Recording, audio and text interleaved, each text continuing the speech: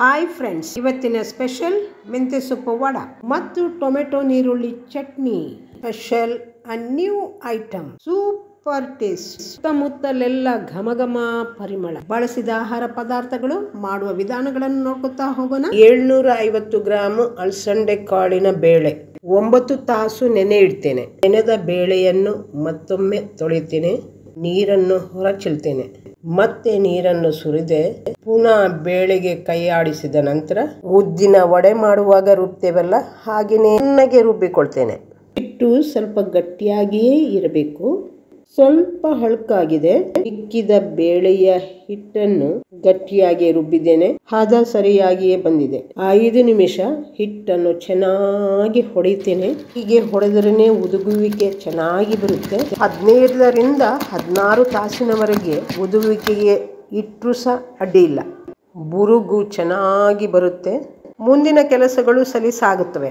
ಬೇರೆ ಕೆಲಸಗಳನ್ನ ನೋಡ್ತೀನಿ. ಸಾಯಂಕಾಲ ಏಳು ಗಂಟೆಗೆ ನೆನೆ ಹಾಕಿದ್ದೆ. ಹದಿನಾರು ತಾಸಿನ ನಂತರ ಅಲ್ಸಂಡೆ ಬೇಳೆಯ ಹಿಟ್ಟು ಉಬ್ಬಿ ಬಂದಿದೆ. ವಾವ್ ಸೂಪರ್ ಬುರುಗು ಬಂದಿದೆ.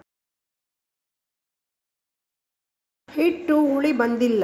ಇನ್ನೂರು ಗ್ರಾಂ ಕ್ಯಾಬೇಜ್, ದೊಡ್ಡ ಕಪ್ಪಲ್ಲಿ ಮೆಂತ್ಯ ಸೊಪ್ಪು, ನೂರ ಇಪ್ಪತ್ತು ಗ್ರಾಂ ಹಸಿಮೆಣಸಿನಕಾಯಿ. ನನ್ನ ತೋರ್ಬಳ್ಳಿನಷ್ಟು ದೊಡ್ಡ ಶುಂಠಿ ತುಂಡು, ಒಂದು ಮುಷ್ಟಿ ಕೊತ್ತಂಬರಿ ಸೊಪ್ಪು, ಎಂಟು ಚಿಗುರು ಕರಿಬೇವು ಸೊಪ್ಪು ಟೀ ಸ್ಪೂನ್ ಅಲ್ಲಿ ಉಬ್ಬಿ ಹಾಕಿದ ಉಪ್ಪು ಮತ್ತು ಅರ್ಧ ಚಮಚ ಉಪ್ಪು. ಖಾರ ಉಪ್ಪು ಕಡಿಮೆ ಅನಿಸಿದ್ರೆ ನೀವು ಸೇರಿಸ್ಕೊಳ್ಳಿ. ಎಲ್ಲವನ್ನು ಕಲಸ್ತೀನಿ. ಎಲ್ಲವೂ ಚೆನ್ನಾಗಿ ಮಿಶ್ರಣವಾಗಿದೆ. ಸ್ನ್ಯಾಕ್ಸ್ ತಟ್ಟೆ ತೆಗೆದುಕೊಂಡಿದ್ದೇನೆ. ತಟ್ಟೆಯ ಹಿಂಭಾಗದಲ್ಲಿ ಹಿಟ್ಟನ್ನು ಹಾಕಿ ತೂತು ವಡ ಮಾಡಿ ಎಣ್ಣೆಯಲ್ಲಿ ಸಲೀಸಾಗಿ ಬಿಡುವುದು. ನೀರು ಅಥವಾ ಎಣ್ಣೆ ಅವಶ್ಯಕತೆನೆ ಬರಲ್ಲ. ಸುಲಭವಾಗಿ ಮಾಡಬಹುದಾದ ತೂತು ವಡ. ತೂತು ವಡ ಮಾಡುವ ಅನುಭವ ಇಲ್ಲದವರು ಈ ವಿಧಾನವನ್ನು ಬಳಸಿ ಸುಲಭವಾಗಿ ತೂತು ವಡ ಮಾಡಿ ತಿನ್ನಬಹುದು. ಅಲಸಂದೆ ಕಾಳು ಸಸ್ಯ ಆಧಾರಿತ ಪ್ರೋಟೀನ್ ಜೀವಸತ್ವಗಳು ಮತ್ತು ಖನಿಜಗಳನ್ನೊಳಗೊಂಡಿವೆ. ಅಲಸಂದೆ ಕಾಳಿನಲ್ಲಿ ಸೆಲೇನಿಯಂ ಅಂಶ ಇರುವುದರಿಂದ ಥೈರಾಯ್ಡ್ ಹಾರ್ಮೋನ್ಗಳ ಉತ್ಪಾದನೆ ಮತ್ತು ಪರಿವರ್ತನೆಗೆ ಸಹಾಯ ಮಾಡುತ್ತದೆ ಹಾಗಂತ ಸಂಪೂರ್ಣವಾಗಿ ಥೈರಾಯ್ಡ್ ಅನ್ನು ಗುಣ ಮಾಡುವ ಶಕ್ತಿ ಅಲಸಂದೆ ಕಾಳಿನಲ್ಲಿ ಮಾತ್ರ ಇದೆ ಅಂದುಕೊಳ್ಬೇಡಿ. ಉಳಿದ ಆಹಾರ ಪದಾರ್ಥಗಳನ್ನು ಸೇವಿಸ್ತಾ ಇರಬೇಕು. ಪೊಟ್ಯಾಷಿಯಂ ಅಂಶ ಇರುವುದರಿಂದ ರಕ್ತದ ಒತ್ತಡವನ್ನು ನಿಯಂತ್ರಿಸುತ್ತದೆ. ಕೆಟ್ಟ ಕೊಬ್ಬನ್ನು ಕರಗಿಸ್ತದೆ. ನಾರಿನಾಂಶ ಇರುವುದರಿಂದ ಅಜೀರ್ಣತೆಯನ್ನು ಹೋಗಲಾಡಿಸ್ತದೆ. ನಾನು ಬಳಸಿದ ಅಲಸಂದೆ ಕಾಳಿನ ಬೇಳೆ ಕಂದು ಬಣ್ಣದ್ದು.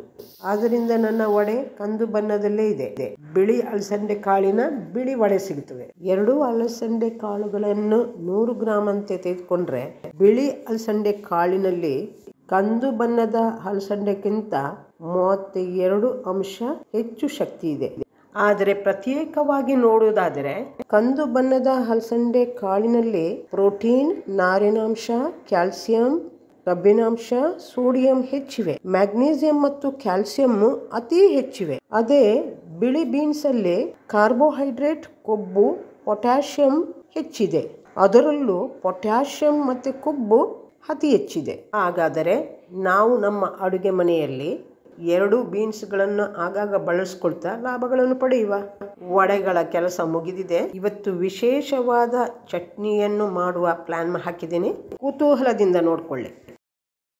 ಮೂರು ಮೆದುವಾಗಿರುವ ಮತ್ತು ಹರೆ ಹಣ್ಣಾಗಿರುವ ಒಟ್ಟು ಏಳ್ನೂರ ಐವತ್ತು ಗ್ರಾಮ್ ಟೊಮೆಟೊ ಇದೆ. ಬೀಜ ತೆಗೆದು ತೆಳ್ಳಗೆ ಹೋಳುಗಳನ್ನು ಮಾಡ್ತೀನಿ. ಸಣ್ಣ ಗುಂಡು ಚಮಚದಲ್ಲಿ ಮೂರು ಚಮಚ ಎಣ್ಣೆ ಹಾಕಿದ್ದೇನೆ.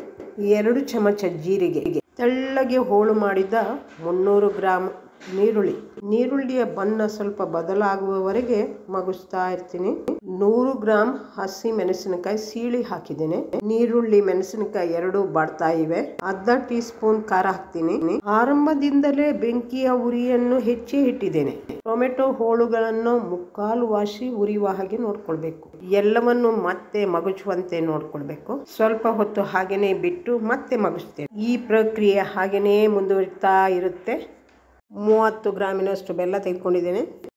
ಒಂದು ಟೇಬಲ್ ಸ್ಪೂನ್ ಉಪ್ಪು ಸೇರಿಸಿದೆ. ಎಂಟು ಚಿಗುರಿನ ಕರಿಬೇವು ಸೊಪ್ಪು, ಒಂದು ಮುಷ್ಟಿ ಕೊತ್ತಂಬರಿ ಸೊಪ್ಪು, ಸ್ವಲ್ಪ ಪುದೀನ ಸೊಪ್ಪು ಸೇರಿಸಿದೆ. ಇಪ್ಪತ್ತೈದು ಒಂದಲಗ ಎಲೆಗಳು. ಒಂದಲಗ ಎಲೆಯನ್ನ ಸೇರಿಸಿದ್ರಿಂದ ಪುದೀನ ಸ್ವಲ್ಪ ಕಡಿಮೆ ಹಾಕಿದೆ. ಒಂದ್ಸಲ ಎಲ್ಲವನ್ನು ಮಗುಚಿ ಬಿಟ್ಟು ಆರಲು ಇಡ್ತೇನೆ. ಆರಿದ ನಂತರ ರುಬ್ಬುವ ಕೆಲಸ ಮುಗಿಸ್ತೇನೆ. ನೀರನ್ನು ಸೇರಿಸಬಾರದು ಇದಕ್ಕೆ. ಚಟ್ನಿಗೆ ಸೂಪರ್ ಟೇಸ್ಟ್ ಬಂದಿದೆ.